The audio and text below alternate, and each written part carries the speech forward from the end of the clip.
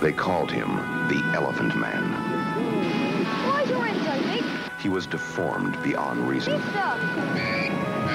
grotesque beyond understanding, ridiculed beyond endurance, and courageous beyond measure.